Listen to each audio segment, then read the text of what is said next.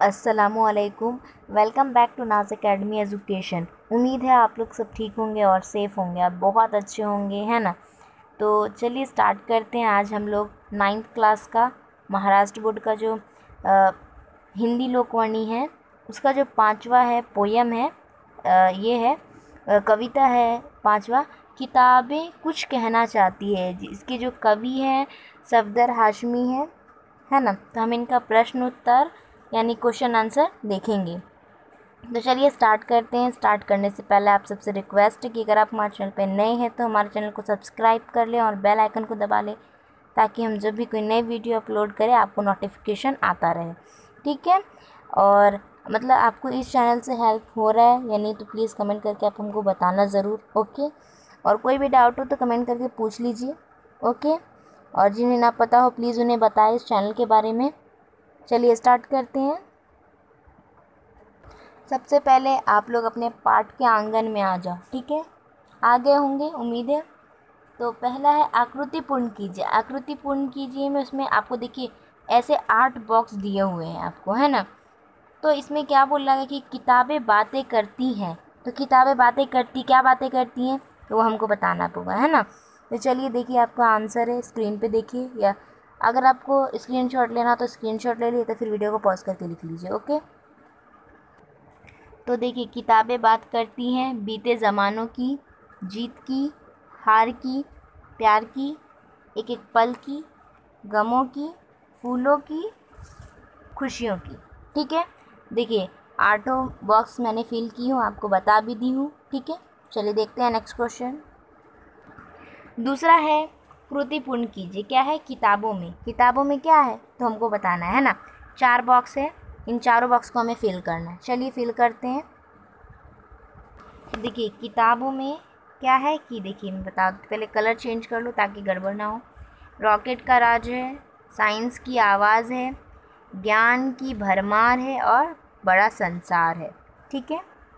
ये चारों बॉक्स में यही आएगा। आप लोग लिख लें। ओके? चलिए देखते हैं नेक्स्ट क्वेश्चन आपका नेक्स्ट क्वेश्चन है ना, कल्पना पल्लवन से है। कल्पना पल्लवन से है तो क्या है कि ग्रंथ हमारे गुरु, इस विषय के संदर्भ में स्वमत बताइए। तो आपको ये ग्रंथ जो हमारे गुरु हैं, उनके ऊपर मतलब कि खुद की विचार बताइए क्या है है ना? तो इसके लिए भी मैंने आंसर लिए हूँ टेंशन लेने की कोई ज़रूरत नहीं है। मुझे मालूम है कि अगर आप लोग लिखेंगे तो थोड़ा टाइम लगेगा। अगर मैं आपको बना हुआ मटेरियल दूँगी तो क्या होगा कि आपको ज़्यादा टाइम नहीं लगेगा समझने में, है ना? और आपका टाइम भी बचेगा और आप दूसरे सब्जेक्ट की तैयारी भी कर सकते हो, है ना? क्योंकि हम नाइन्थ और टेंथ दोनों बहुत इंपॉर्टेंट होते हैं। अगर नाइन्थ आपका अच्छा गया तो आपका टेंथ भी अच्छा ही जाएगा ओके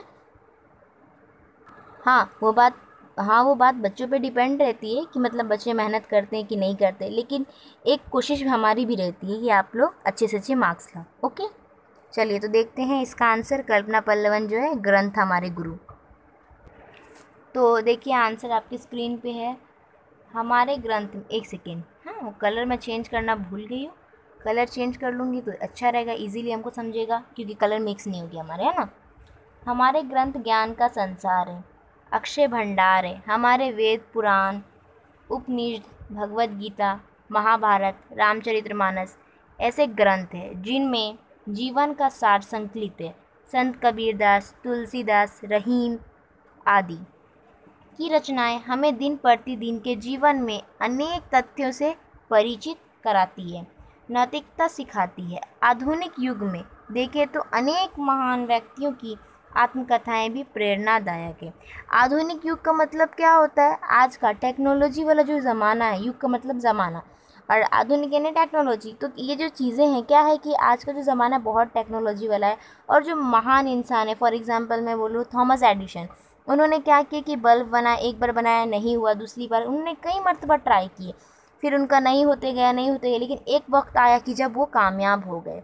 तो इससे हमें ये सीख मिलती है कि हमें कभी भी हार नहीं मानना चाहिए, हमें कोशिश करती रहना चाहिए और कोशिश करने वालों की कभी भी हार नहीं होती है, ठीक है? तो यही हमें इससे सीख मिलती है। तो थॉमस एडिशन जी के का मैंने ऐसी एग्ज़ाम्पल देके आपको समझाई थी, ठीक है? यदि हम चाहें तो इन पुस्तक उसी प्रकार लाभान्वित हो सकते हैं, जिस प्रकार की समीपता में कोई शिष्य। अतः यह कहना उचित होगा कि ग्रंथ हमारे गुरु हैं। ठीक है, एक बार मैं काम करती बोर्ड साफ़ कर देती क्योंकि गंदा दिख रहा है ना, लाइन लाइन कर दी तो। एक सेकेंड हाँ हट गया, सब हट गया। हाँ अब देख लीजिए। ठीक है तो स्क्रीनशॉट लेना चाहे तो स्क्रीनशॉट ले लें। क्योंकि ये बहुत इंपॉर्टेंट है, आपको दो मार्क्स के लिए एग्ज़ाम में पूछता ही है पर्सनल रिस्पॉन्स के तौर पे। तो अगर आप इसमें से दो या चार लाइन भी लिख दोगे ना, तब भी चलता है, आपको मार्क्स मिल जाएँगे। ठीक है? चलिए देखते हैं नेक्स्ट क्वेश्चन आपका नेक्स्ट क्वेश्चन बहुत इंपॉर्टेंट है, भाषा बिंदु है।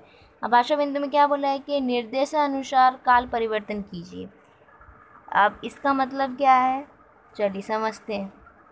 अब आपको निर्देश के अनुसार यानी लाइन के हम लोग बोलते हैं ना मतलब एक के बाद एक किस तरह होता है उनके अनुसार, है ना? लाइंस के हिसाब के है ना हमको। ऑक्योर जैसे बोला जाता है ना ऑक्योर आपको इंग्लिश में बोला जाता है तरतीब से, है ना? उससे रखना। है तो सबसे पहले वर्तमान काल है। वर्तमान काल में पहला क्या है? सामान्य।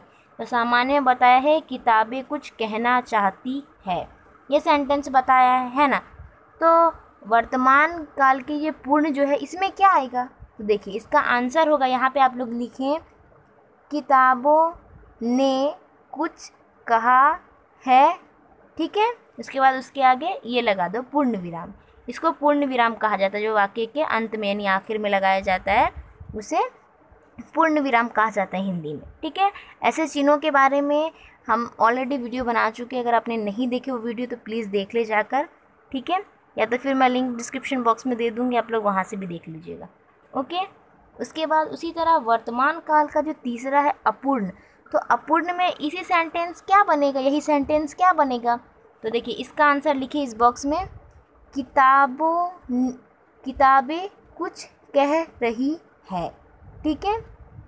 उसी तरह आपका आएगा भूतकाल। अब भूतकाल में सामान्य यही सेंटेंस को हमें सब में तब्दील करने जा सबको बदलना है इसी तरह, ठीक है? तो सामान्य में क्या आएगा? भूतकाल में। अब भूतकाल में था, थे, थी, ये आता है ना? लेकिन हमें सामान्य में क्या बनेगा? तो इस बॉक्स में आप लोग लिखे, इस बॉक्स में आप लोग लिखे, क्या लिखेंगे? देखिए, इस बॉक्स में लिखेंगे आप लोग, कि, किताबें कुछ कहना चाहती थी, ठीक है? उसी तरह पूर्ण में लिखेंगे, यहाँ पर आंसर किताबों ने कुछ कहा था, ठीक है?